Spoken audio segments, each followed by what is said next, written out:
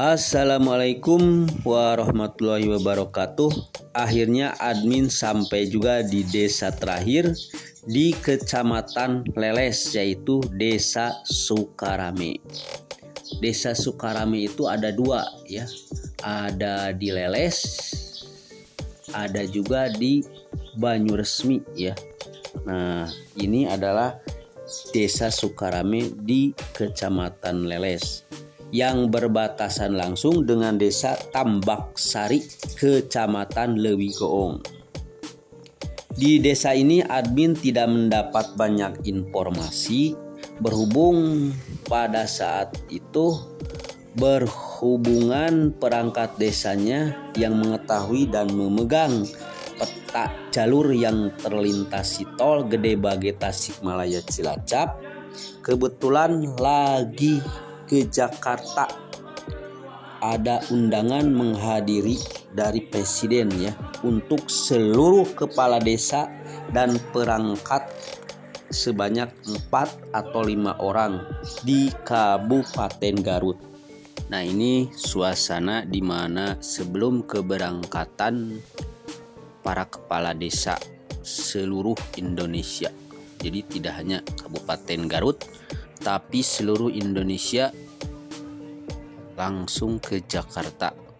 Ada silaturahmi perangkat desa ya.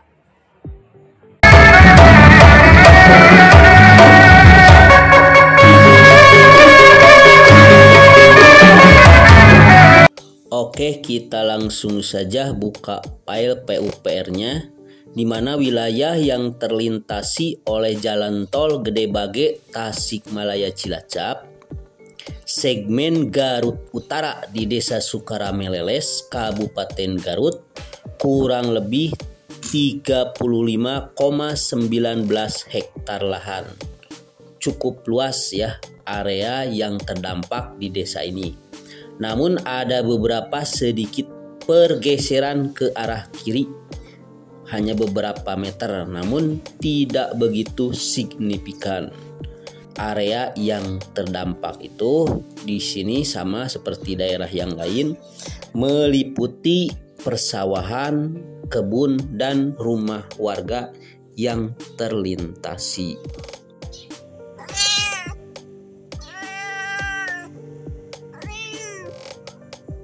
Walaupun masuk desa terakhir di Kecamatan Leles, namun desa Sukarame sedikit lebih rame ketimbang desa Margaluyu.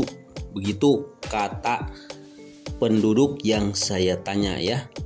Hal ini bisa dimungkinkan karena desa ini dekat dengan kecamatan Lewigoong sedangkan posisi desa Margaluyu berada di tengah-tengah kecamatan Leles. Itu saja barangkali informasi mengenai Desa Sukarame yang merupakan desa terakhir di Kecamatan Leles yang admin singgahi hari ini.